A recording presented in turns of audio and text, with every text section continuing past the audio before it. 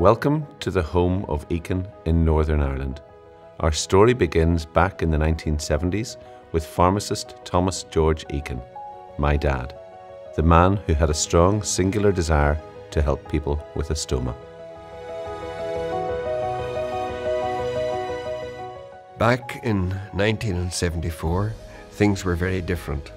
Ostomates' skin irritation and leakage were constant problems faced by patients visiting my pharmacy. It was such problems, combined with the experience of having a close family member with a urostomy, that motivated me to design and make my own products and improve the quality of life of those with a stoma. Needing to experiment with difficult adhesive formulations, I modified this old Hobart mixer and so began the tedious journey.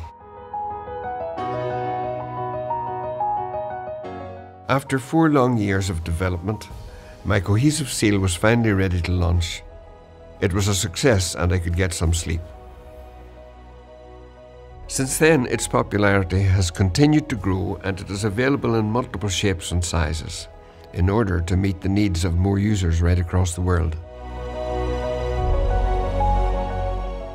Although I'm now semi-retired, I serve on the board of directors, ensuring that the company objectives are in the best interest of the patient.